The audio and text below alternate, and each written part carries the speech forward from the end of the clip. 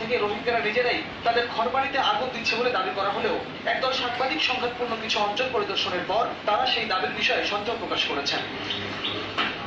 এ অবস্থায় রাখাইনের সংঘাতপূর্ণ এলাকায় মানবিক সহায়তা পৌঁছানোর অনুমতি দিতে মিয়ানমার সরকারের প্রতি আহ্বান জানিয়েছে যুক্তরাষ্ট্র।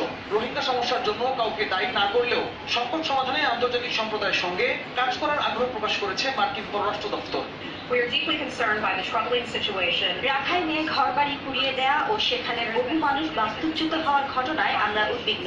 মানবাধিকার লঙ্ঘনের এসব অভিযোগ আমরা খতিয়ে দেখছি। সামরিক বাহিনী কিংবা বিদ্রোহী যারাই এসব কাজ করুক না কেন আমরা এর তীব্র নিন্দা জানাই।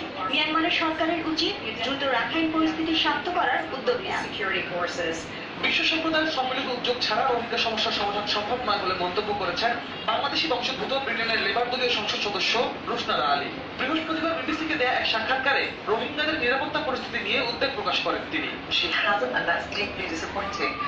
সামরিক শাসনের অবসানের পরও রোহিঙ্গাদের অবস্থা আগের চেয়ে নির্মম হয়েছে।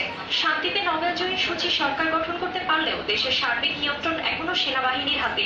দেশটিতে তেমন কিছুই বদলায়নি।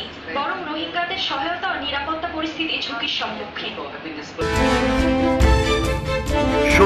সর্বসুন্দরের পক্ষে টিভি নিউজ